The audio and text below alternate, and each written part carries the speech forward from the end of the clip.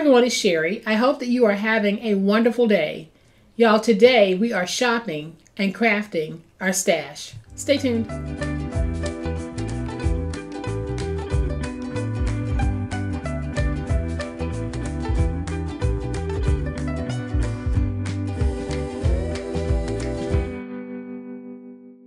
Welcome to my channel. I am so glad that you decided to stop by. Welcome to all of my new subscribers. Welcome to all of my new friends. And welcome back to all of my old friends for all of the wonderful support. Some of you have been supporting me since I first started on YouTube. Thank you so very much. In a previous video, I showed you this paper pad. We're going to craft it because I am shopping and crafting my stash. So this paper pad might be new to some of you, but it's actually been around since 2016. I've had it in my stash, and since I'm shopping my stash and crafting my stash, I thought I would work with it today. And so here's what we're going to make today. We're going to make these awesome six by eight and three quarters of an inch personal sized clipboards. And we're going to complete the set by adding some stationery goodies. So I will give you guys a closer look in just a minute but y'all know what time it is. It's time to make it. So here is a closer look at the paper pad. It's called the Mint Berry and it's by the Paper Studio. I am just going to do a very quick flip through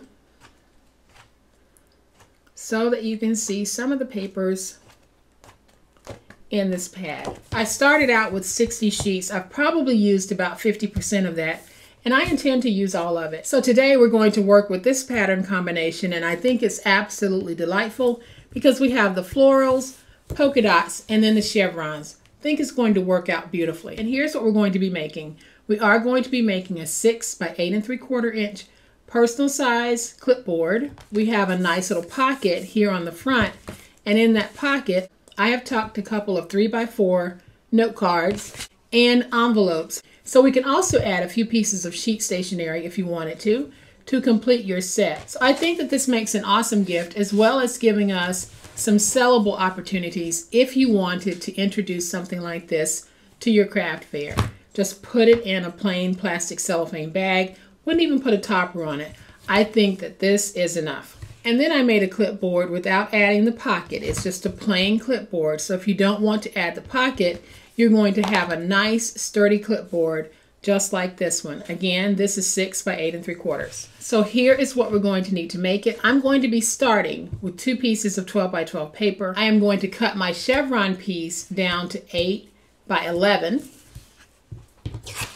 And then I'm going to cut a piece of this and we're going to cut it at five and three quarters by eight and a half and it'll be the back liner but we're also going to have enough left over to do our pocket as well as the cards. And this will be a chipboard project. So for those of you who have invested in chipboard, go ahead, pull it out because you can use it on this project. I have two pieces that measure six by eight and three quarters. If you don't have chipboard and you're looking for an alternative, if you have shoe boxes, if you double or triple stack those, then you'll have the consistency of basically a heavyweight piece of cardboard because that's what I'll end up with by doubling these two. So you want to make sure that you have a really hard and sturdy board so that when you're writing something, it's not sinking in. So the first thing that I'm going to do is I'm going to peel away the tape backer from one piece of my chipboard so that we can join it to the other piece. And I have used my double-sided tape for this. So all I'm going to do is stand this up and match it as best I can. So then I'm going to bring in the cover for the clipboard and we're going to trim it down. So I want this to be eight inches wide. So to make sure that my chevron stays as centered as possible, I'll trim two inches from this side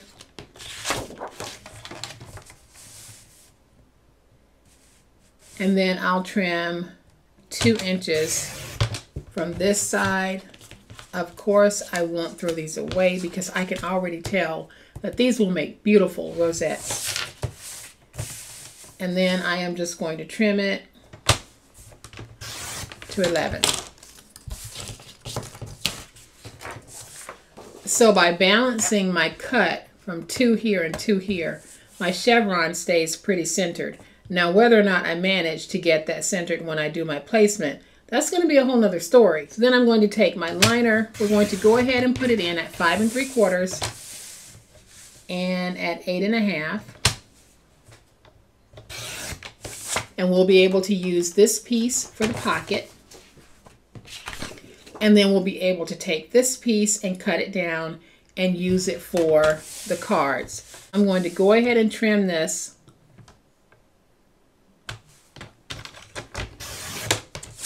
Four by 12 and then I'll take it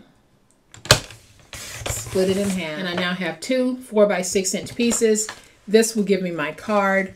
So these are our working pieces and this is our scrap and of course we will use that scrap on a future scrap project. So I'm going to go ahead and we're going to do the clipboard. So I'm going to remove my tape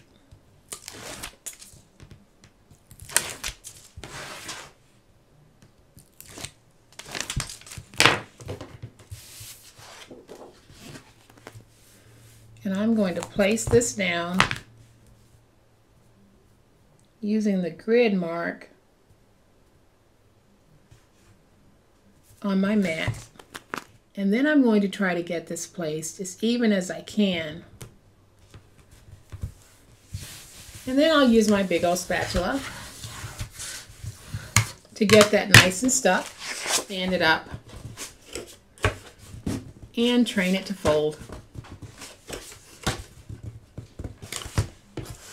Now I'm going to take my scissors and we're just going to go in and miter those edges.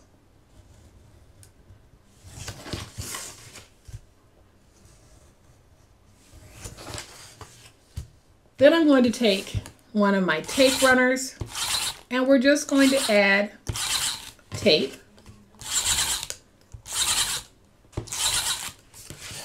to all four sides of our wraparound paper. And I'll stand it up. We're going to fold it over.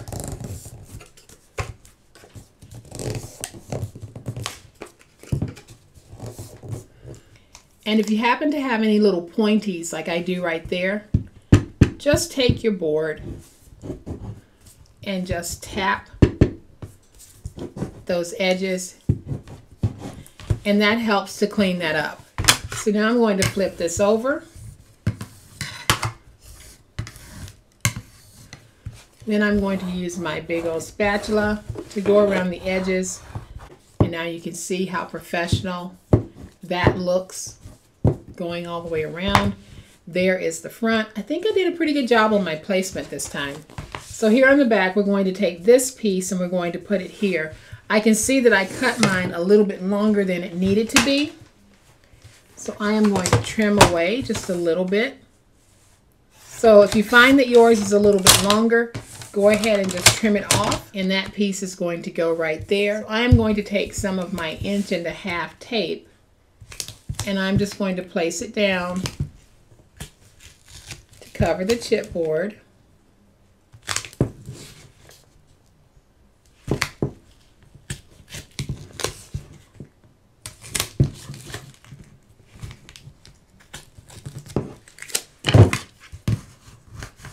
nice and stuck. Then I'm going to do the same thing with this piece. I am going to take my tape and basically just go around the edges. And I'm using the wide tape because it's what I happen to have out right now. I don't use glue when I'm making a clipboard because I don't want to risk the possibility of having any warping so now that we have our tape on this piece and our tape on this piece, we're going to remove those tape backers from both and get our pieces placed down. So now we're going to place this down and as you can see I'm standing for this part because I want to make sure that I have a good placement. Now I'll use my big old spatula to make sure that everything is nice and stuck. And look how pretty and complementary the back is to the front. So we have three pieces left. We're going to take the two pieces that measure four by six and just set them to the side. We'll take the other scrap piece and we're going to put it in the trimmer because I want just a little bit of a border. So I am going to score this at half an inch and we're going to take this and we're going to put it down right here at the bottom. So I'm going to take my glue and just go along my little lip here. Fold that over. And now I'll take my glue and we're going to place glue on three sides of our project.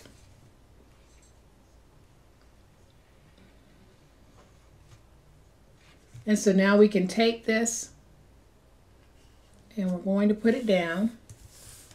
Now it's not going to go all the way to the end, but that's okay because we have such a nice blend on here that it looks pretty good. So then I'm going to take one of my little clips, place the clip at the top. You can use a larger clip if you want.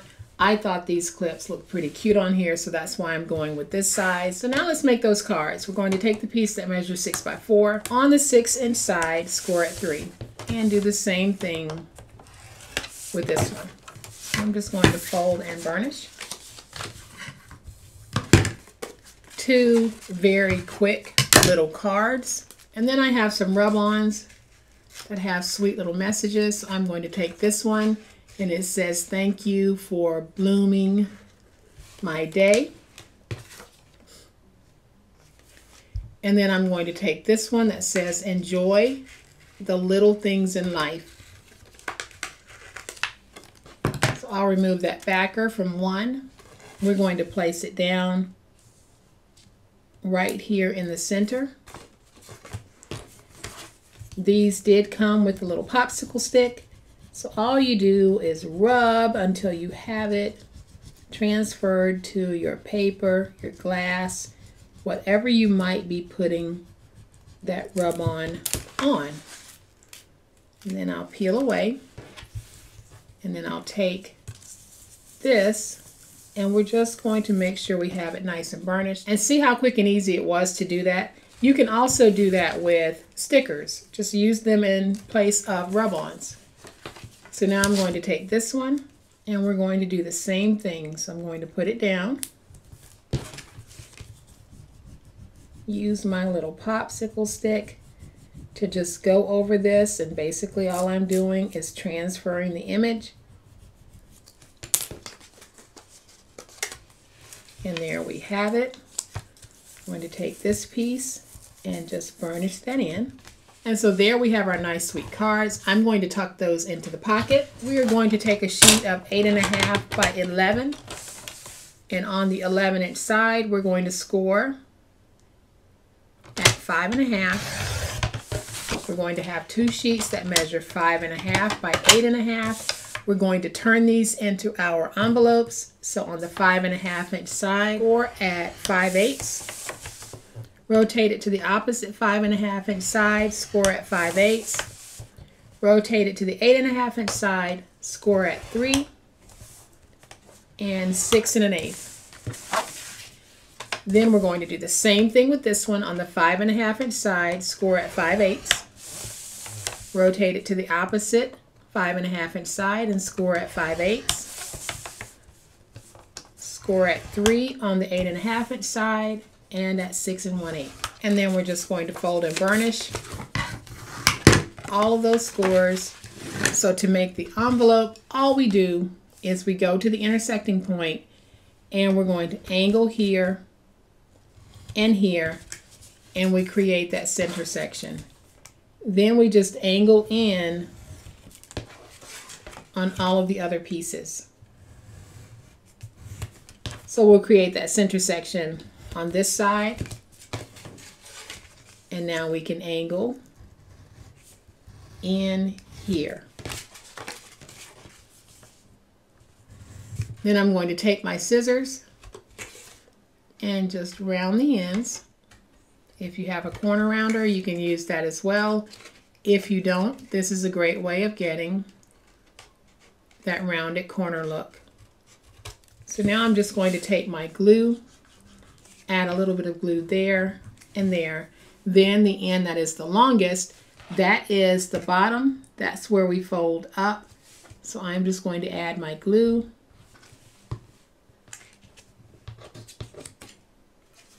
Bring that up. And y'all, that's how easy it is to make our own envelopes. You can take one of these cards out, put it in the envelope, and you know you have a good fit. So I am going to remove that. To seal it, I'm going to add just a little bit of tape, not a lot.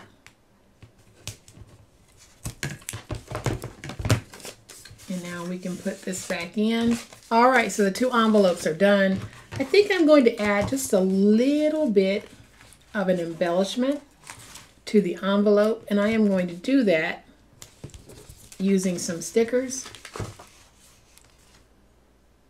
And I think I'm just going to stick with some nice little pink butterflies.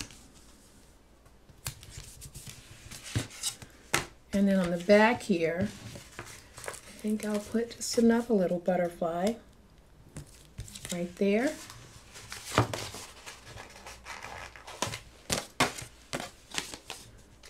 And right here. And so there we have our two envelopes. I am just going to take these and tuck them in just like this. And then to finish this off, I have this little sticker that says, All My Heart, all my heart all the way across.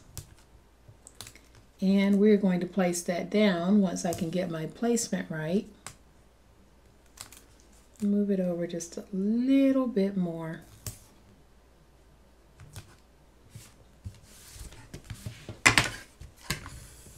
And so y'all, there we have it. We've made another six by eight and three quarter inch clipboard. And look how gorgeous it is. Like I said, you could add some blank pieces of stationery to the inside just to make it a complete little stationery clipboard. So you'll have a place to write a message, you'll have some note cards, and you'll have some envelopes. This really is a stinking cute, super easy way to make a giftable or a sellable. So easy to do. And look at how gorgeous they are. The colors are just perfect. They're not too vibrant and they're not too muted. So we have a beautiful little set here.